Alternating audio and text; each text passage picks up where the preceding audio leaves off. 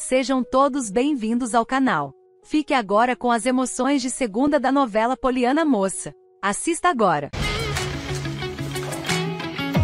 Mas como você pretende sair de casa sem autorização do meu pai? Tem uma fofoca ótima.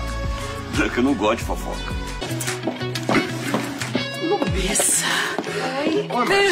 Olha, eu penso na Lorena desde quando eu conheci ela. Tá, tá bom.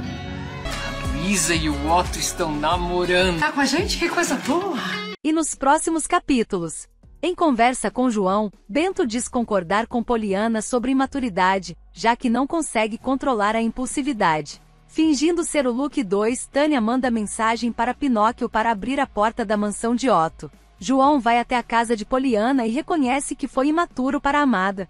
Francisco, policial que Ruth encontrou no Ceará, envia uma mensagem para a diretora no aplicativo de relacionamento. Glória, Poliana e João se reúnem com Otto e Luísa para um jantar. Na confraternização, Otto e Luísa anunciam o namoro. Pinóquio abre a porta da mansão e se depara com Tânia. A cobra invade o jantar e todos ficam espantados. Tânia provoca a família. Pinóquio tenta enfrentar Tânia, mas Luke 2 aparece e eles se confrontam. Pinóquio é desligado. A vilã pede para Otto desativar o sistema de segurança da casa.